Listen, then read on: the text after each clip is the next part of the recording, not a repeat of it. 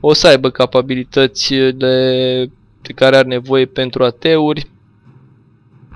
Și uh, da, Sticky Bomb în cele din urmă ți-a decapat uh, punctul de victorie și pleacă. Și acum trebuie să-l repari pe băiețelul ăsta.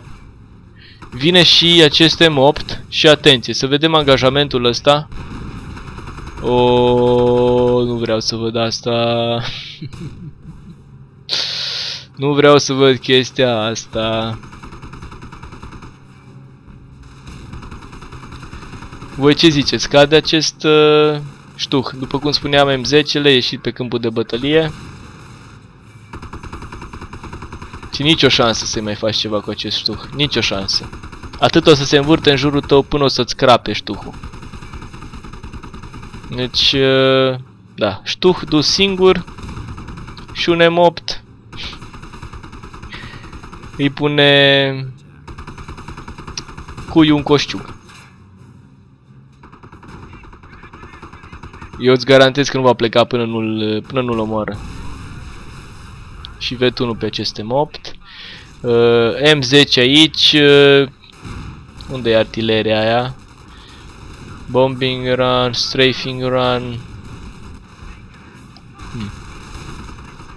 După ce a luptat atât cu M8-ul ăsta și ai squaduri de vet 3, una din ele are Panzer Shrek pe ea. Hmm. Nu știu. Aș încerca să fac un pic de doci cu el. Iar uh, să vedem, să vedem ce se va întâmpla.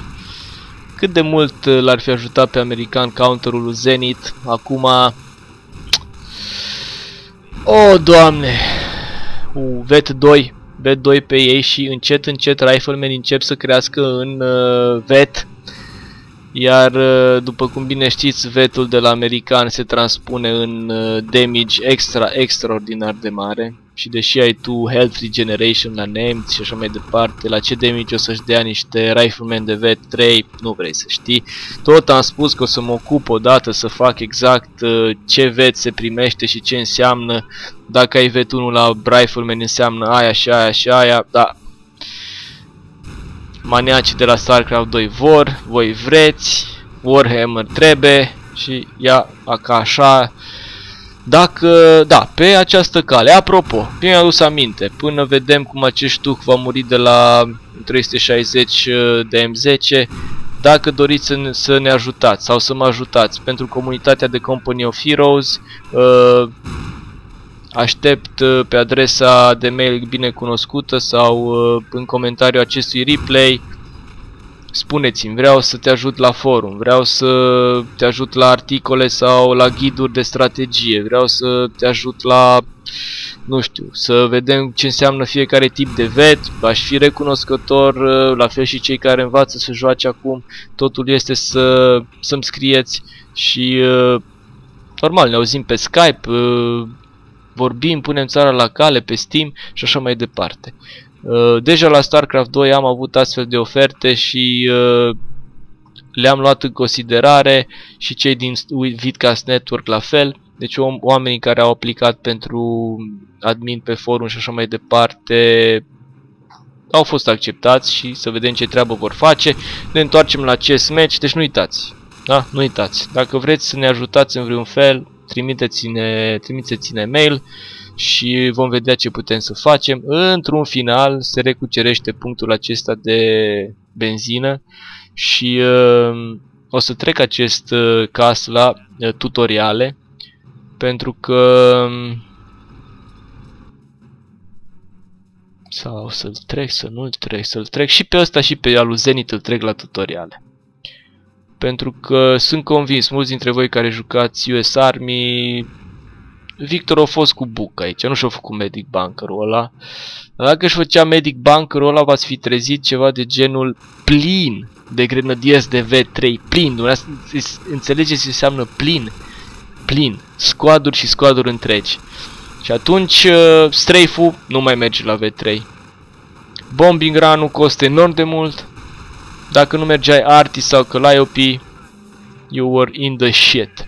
Cum ar fi fost și băiatul ăsta dacă exista un medic bunker și uh, Da, pe acest uh, flank, pe acest punct de victorie, Victor foarte bine alocă un squad de Vol și un squad de Vet 3 de Grenadiers cu niște Flame Engineers, nicio șansă.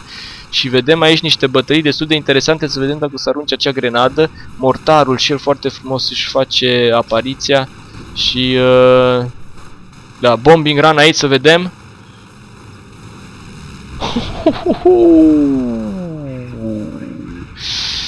Da, frumos acest bombing run, din câte știam eu îl folosești mai mult când vin coloane blindate sau chestii genul ăsta, dar în disperare de cauză de ce nu? Uh, a apărut și acest ștuh, uh, cred că e al treilea care îl vedem pe hartă, M10-le, V1 deja plus un M8 care trebuie reparat și pacul a dus și el foarte frumos la suportul acestui uh, ștuh.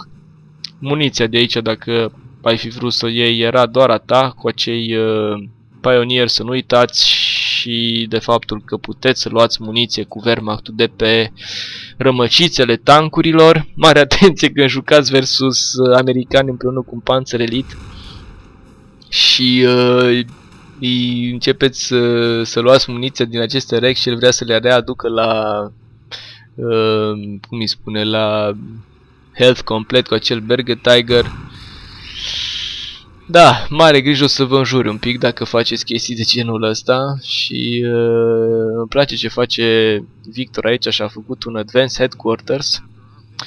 Da, și țin minte că am avut un mești exact de genul ăsta în care nu mai știam ce să-i fac nici eu, aruncam cu grenade, aveam și ateuri, și pur și simplu la un moment dat m-am oprit, uh, am început să fac vet pe acei uh, riflemen doar cu grenade. Asta era singura soluție și să prest, îi puneam la pământ, aruncam grenadele, am mai adus și un mortar și este un indiciu că din acea clădire de mortar se mai pot scoate două unități pentru a face counter la acest tip de joc uh, cu V3 pe, pe unitățile de infanterie german.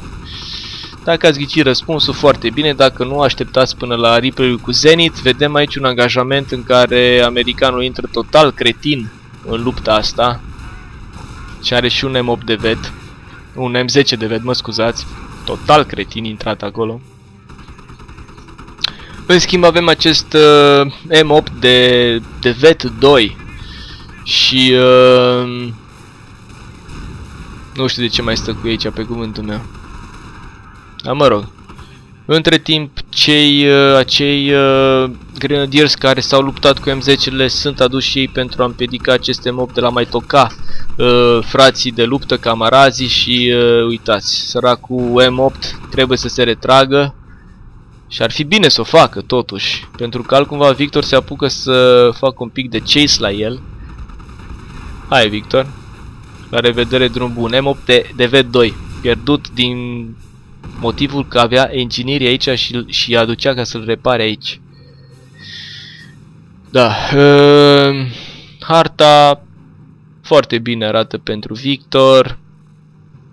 Ce haideți să vedem unde e bătălia aia mega. Până acum uh, au fost ceva lupte de blindate, încă un ștuh aici și încă unul aici. Uh, două M10-uri și două AT-uri, plus riflemenii ăștia. Hmm, ce ziceți? Ar fi pus probleme lui Victor. În faza că i-a, permis să, să-și facă acest Advanced Headquarters aici. Da. Uh... 1, 2, 3, 4, 5. Bun, sunt și doi Pioneers acolo. Și uh, da, uitați avantajul cu aceste ștuhuri 42.